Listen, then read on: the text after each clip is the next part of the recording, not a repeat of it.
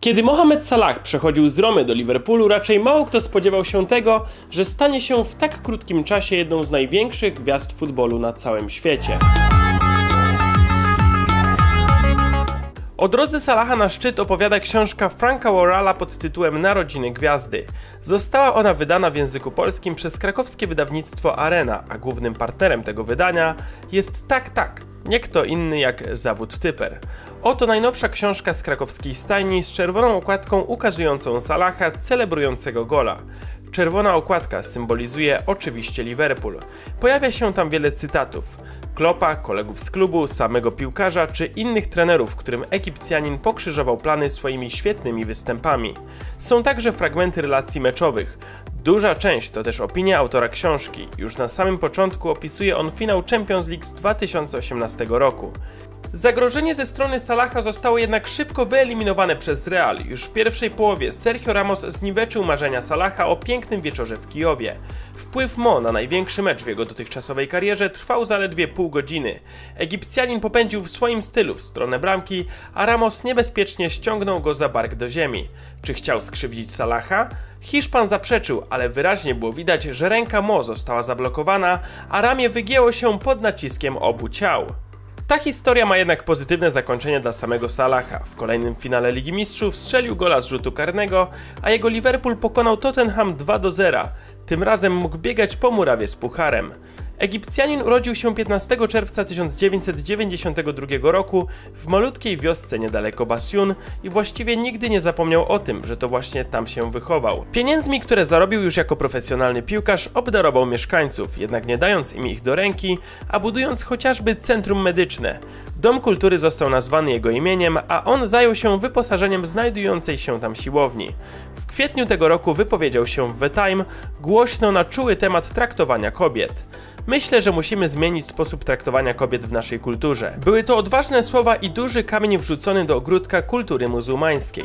Salah jako wzór wyszedł temu naprzeciw. Sam zresztą także tam, gdzie się wychował, wybudował szkołę dla dziewczynek. Istnieje jedna anegdota, która pokazuje, jakim człowiekiem na co dzień jest Momo. Obrabowano dom jego ojca, skąd zostało skradzionych wiele pamiątek. Ojciec piłkarza był wściekły. Gracz Liverpoolu wytłumaczył mu jednak, że taka jest cena bycia popularnym. Przestępca został złapany, więc ojciec chciał go naturalnie pozwać do sądu. Mohamed przekonał tatę, że nie warto tego robić. Sam zgłosił się do złodzieja, ofiarował mu pieniądze i powiedział, że pomoże mu znaleźć pracę. Salah jest idolem dla całego Egiptu. Przejdźmy znów do jednego z fragmentów książki. W trakcie każdego ramadanu Mo przyjeżdża do Negrik, by przekazać prezenty miejscowym dzieciom. Mówił w wywiadzie dla Mail Mohamed Przyjaciel Salaha z dzieciństwa. On gra z dzieciakami w ping-ponga i w bilarda. Kiedy tu jest, to nikomu nie odmawia autografu czy wspólnego zdjęcia.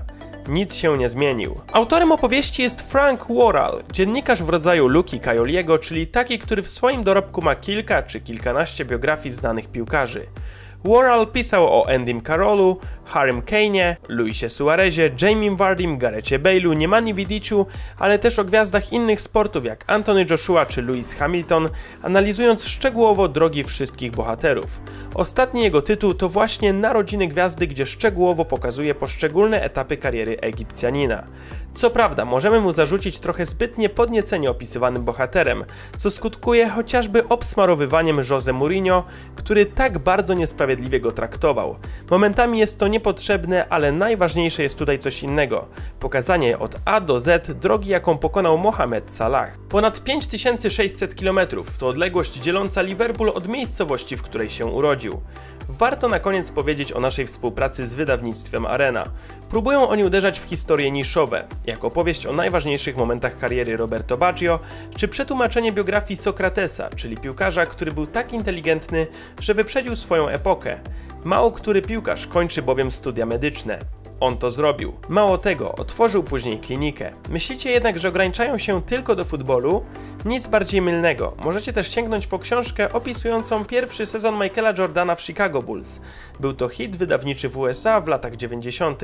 Dowiecie się również, dlaczego Grand Prix Monaco to najbardziej wyjątkowy wyścig w Formule 1, jeśli tylko sięgniecie po tytuły wydane przez Arenę. A już teraz chciałbym Was zaprosić do subskrybowania kanału Zawód Typer i do zobaczenia w kolejnym odcinku.